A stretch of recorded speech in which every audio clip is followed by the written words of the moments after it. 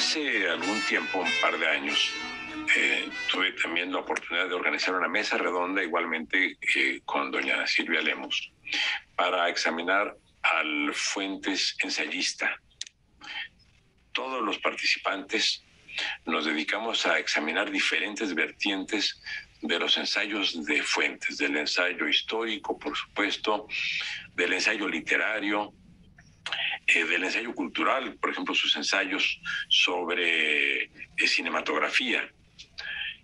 pero fundamentalmente sus ensayos políticos y sociales. Eh,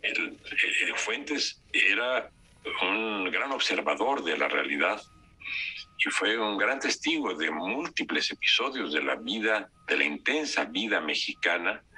de los años 50, 60, hasta su fallecimiento. De manera que en, eh, lo, que, lo que se puede decir que hermana la literatura creativa y la literatura ensayística de Fuentes es su gran prosa.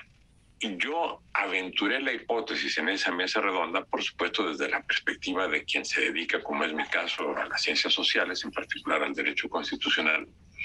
de que la mente de Fuentes estaba dominada por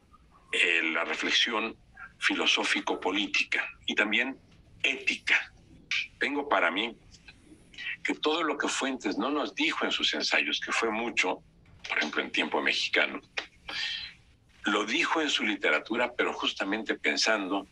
en que a través de la construcción hipotéticamente fantástica en cuanto a la fantasía, refiero en cuanto a la realidad, que en la creación de sus personajes, de sus eh, escenas, de sus situaciones, eh,